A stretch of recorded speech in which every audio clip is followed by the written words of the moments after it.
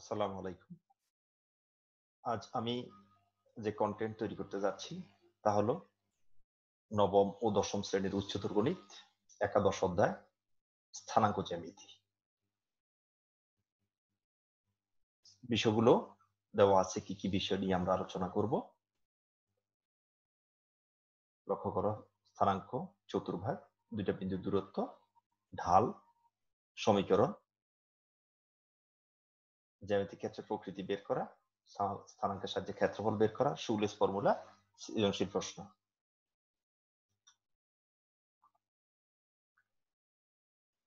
স্থানাঙ্ক। আমরা অষ্টম শ্রেণি পর্যন্ত বা নবম শ্রেণীতেও, নবম শ্রেণির বইতেও আমরা বীজগণিতে লেখচিত্র পড়েছি। তো সেরকম লেখচিত্র খুব ছোট এবং সরল একটা সমীকরণ আমি নিলাম, সেটা Y equal to X plus one এই সমীকরণটাতে লক্ষ্য করো, একটা ধ্রুবক পদ আছে ওয়ান এক্সের সহগ দুই ওয়াই এর সহগ এক।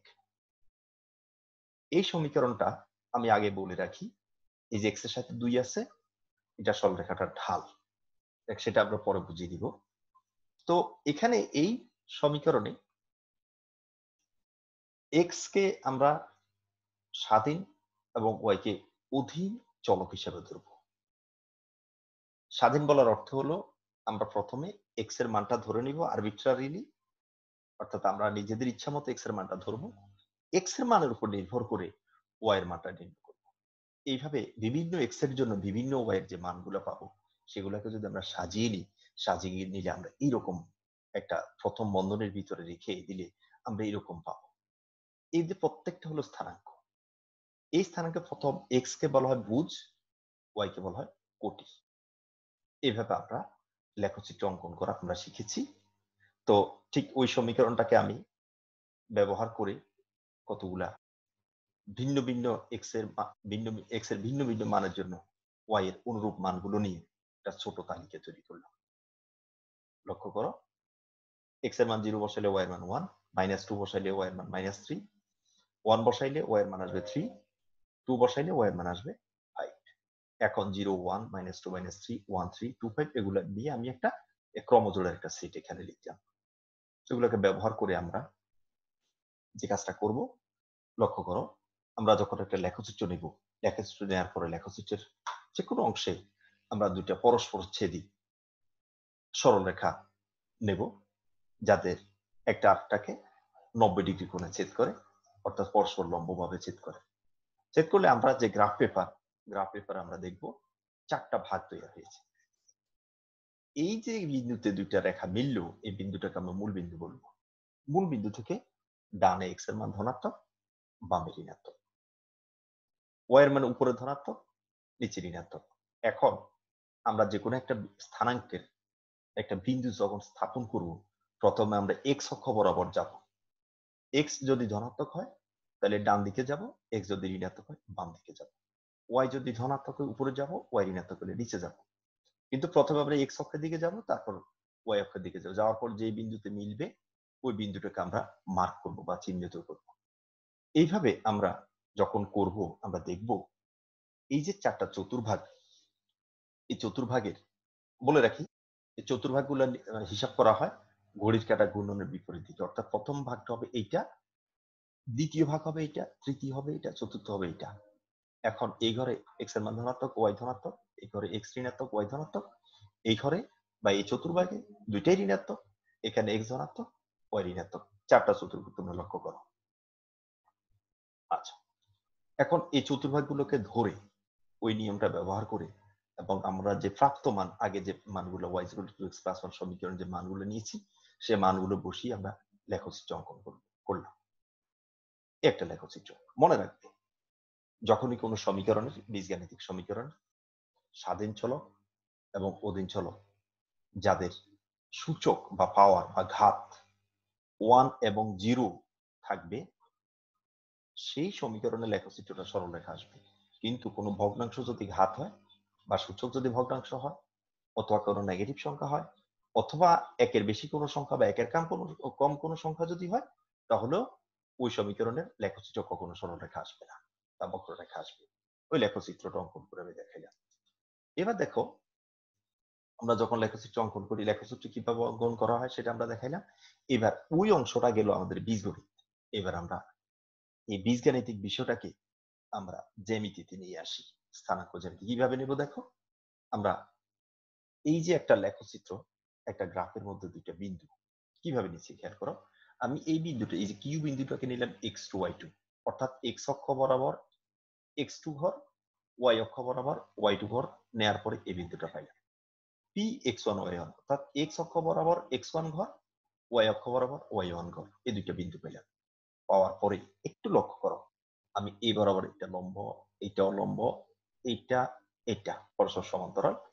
এখন এই ও বিন্দু থেকে এই এন বিন্দু পর্যন্ত দূরত্বটা এক্স টু এই কারণে। আবার ও বিন্দু থেকে এম বিন্দু পর্যন্ত দূরত্ব এক্স ওয়ান তাহলে এম এন দূরত্বটা হলো x two minus x one তা এটার সমান যে পি আর তাও এক্স টু মাইনাস এক্স ওয়ানই হবে।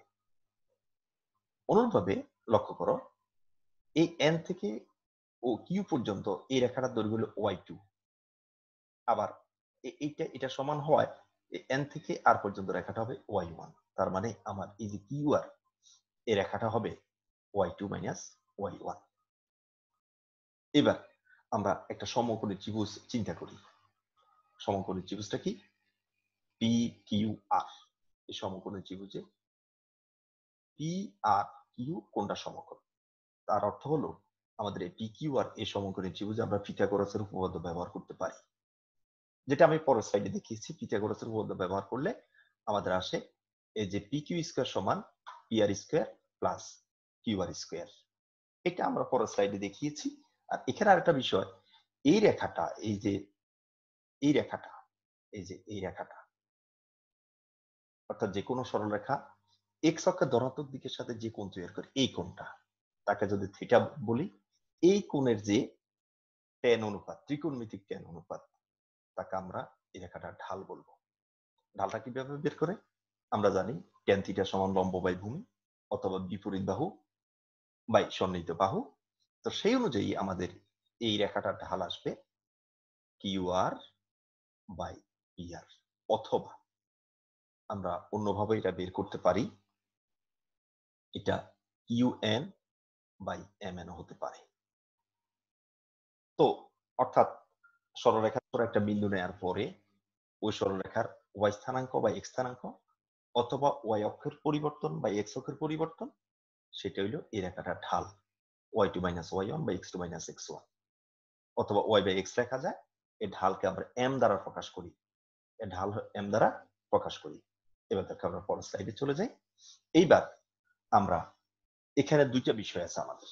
ওই যে আগে বলে এসেছিলাম আমি পি কিউ স্কোয়ার সমান Q R square plus P R square Q R হইল Y two minus Y one আর পি আর হইল X two minus X one তাহলে পি কিউ সমান হবে।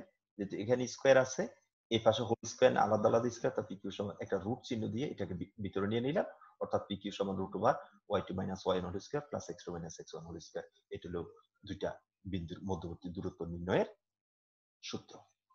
এবার আমরা আসি ঢালের সূত্রটা। ঢাল এম সমান y two minus y one by x two minus x one দেখো, আগে বলে এসেছি ওয়াই অক্ষ বরাবর পরিবর্তন y two minus y one অর্থাৎ এটা এক্স অক্ষ বরাবর পরিবর্তন পি আর x two minus x one এখন আমরা যে আর গুণন করি y two minus y one সমান m into x two minus এটাকে রেখে আমরা এই জায়গায় লক্ষ্য করো। আমাদের এতক্ষণ পর্যন্ত আমরা x one y one x two y two দুইটা বিন্দুকে আমরা ধ্রুবক হিসেবে ধরে নিয়েছি। এখন ওয়াই টু জায়গায় যদি ওয়াই বসাই, অর্থাৎ এটাকে চলক ধরি এক্স টু জায়গায় এক্স বসাই, চলক ধরে অর্থাৎ এই রেখার উপর একটা বিন্দু এক্স ওয়াই নিলাম যে কোনো বিন্দু। নেয়ার পরে যেই আমরা সমীকরণটা পাবো, এই সমীকরণটাকে বলা হবে সরলরেখা সমীকরণ। অর্থাৎ দুইটা বিন্দু যদি আমাদের দেওয়া থাকে, আমরা এই প্রক্রিয়ায় আমরা সরলরেখা সমীকরণ বের করে নিতে পারি। এর বাহিরে যদি আমাদের দেওয়া থাকে একটা বিন্দু ধরো এক্স ওয়ান ওয়াই ওয়ান বিন্দু দেওয়া আছে এবং এই রেখাটা ঢাল দেওয়া আছে এম তখন আমরা এটা ব্যবহার করতে y minus y one is to m into x minus x one অথবা আমরা ঢাল বের করে আমরা বের করে নিতে আরও প্রক্রিয়া আছে সরলরেখা সমীকরণ বের করা আপাতত আমরা এতটুকু করলাম। এরপর ওয়াই ইকুয়াল টু এ এভাবে লিখলাম। লেখার পরে ওয়াই সমান m x minus m x এই যে এটাকে একটু সাজিয়ে লিখি ওয়াই সমান m x plus y one এই y one minus m x one এটাকে যদি আমরা সি ধরি, তাহলে y equal m x plus এটার একটা তাৎপর্য আছে। তাৎপর্যটা কি? যদি C is equal to zero হয়, তাহলে is equal to m x এই রেখাটা এই মূল বিন্দু দিয়ে যাবে। যদি সি এর কোনো মান থাকে ধনাত্মক, তাহলে এই রেখাটা ওয়াই অক্ষকে ধনাত্মক দিকে, অর্থাৎ মূল বিন্দু থেকে উপরে কোন একটা বিন্দুতে ছেদ করবে। আর সি পরিমাণ দৈর্ঘ্যের অংশ কেটে নিবে। আর সি যদি ঋণাত্মক হয়, মূল বিন্দু থেকে নিচের দিকে ওয়াই অক্ষকে সি বিন্দুতে ছেদ করবে। অর্থাৎ সি হলো ওয়াই অক্ষ থেকে খণ্ডিত অংশের দৈর্ঘ্য। এখানে আমরা সিটাকে ধনাত্মক হিসেবে ধরে নিয়েছি।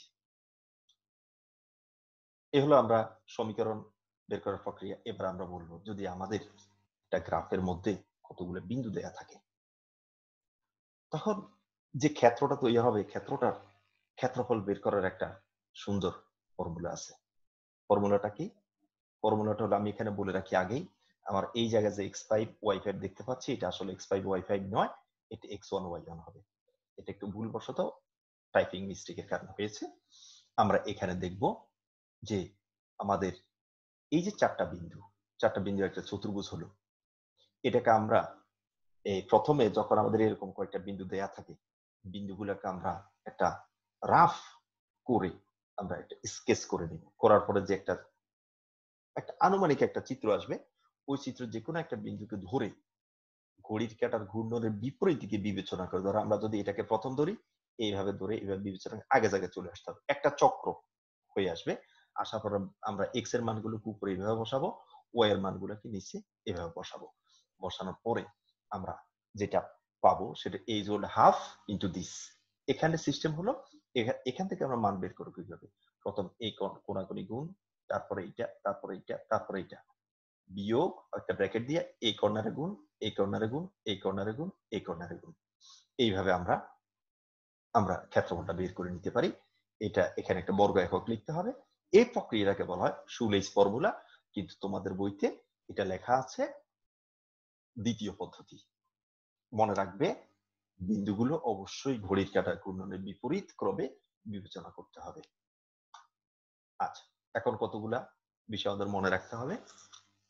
লক্ষ্য করো, এখানে ইম্পর্টেন্ট হলো ঢাল এম সমান টেন থিটা সমান উঠা বাই হাঁটা, উঠা বলতে বোঝাচ্ছে ভুজ, হাঁটা বলতে বোঝাচ্ছে সরি উঠা বলতে বোঝাচ্ছে কোটি, হাঁটা বলতে বোঝাচ্ছে ভুজ, সমান ওয়াই অক্ষের পরিবর্তন এক্স অক্ষের পরিবর্তন y two minus y one বা x two minus x one এখন দুইটা রেখা যদি সমান্তরাল হয়, তাহলে অবশ্যই তাদের ঢাল সমান এম ওয়ান সমান এম টু আর অর্থাৎ তারা এক মানে এক্স অক্ষের ধনাত্মক দিকের সাথে একই পরিমাণ গুণ উৎপন্ন করে, আর দুইটা রেখা যদি পরস্পর লম্ব হয়, তাহলে তাদের ঢাল দয়ের গুণফল হবে মাইনাস ওয়ান অর্থাৎ m one into m two is minus one যদিও তোমাদের বইতে এটা কিন্তু নাই, লেখা নাই, কিন্তু পরীক্ষা আসার কিন্তু উদাহরণ আছে।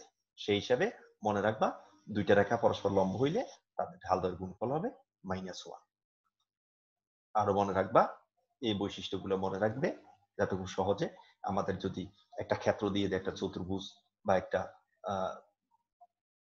এই ধরনের একটা চতুর্ভুজ দিয়ে দিল, যদি আমাদের, আমরা পাই যে বিপরীত বাহুগুলি পরস্পর সমান, তাহলে আমরা এটাকে একটা সামান্তরিক হিসেবে বিবেচনা করতে পারি। প্রত্যেকটা বাহু যদি সমান হয়, আমরা এটাকে বর্গ অথবা রম্বস হিসেবে বিবেচনা করতে পারি। কিন্তু বিপরীত জোড়া যদি সমান হয়, সেটা আয়তক্ষেত্র। আয়তক্ষেত্রের বিশেষ বৈশিষ্ট্য হলো যে আয়তক্ষেত্রে কর্ণ দুইটা সমান এবং বিপরীত বাহুগুলি সমান প্রত্যেকটা কোন সমকোণ। রম্বসের ক্ষেত্রে প্রত্যেকটা বাহু সমান, কিন্তু একটি কোন সমকোণ নয়। কর্ণগুলো সমান নয়। বর্গক্ষেত্রে চারটা বাহুই সমান, কর্ণগুলো সমান, প্রত্যেকটা কোন সমকোণ। এই বৈশিষ্ট্যগুলোর বিবেচনায় আমরা যে কোনো একটা ক্ষেত্রে বৈশিষ্ট্য বের করতে পারব। আমরা যখন গাণিতিক সমস্যা সমাধান করতে যাব, তখন আমাদের বিষয়গুলো প্রয়োজন হবে।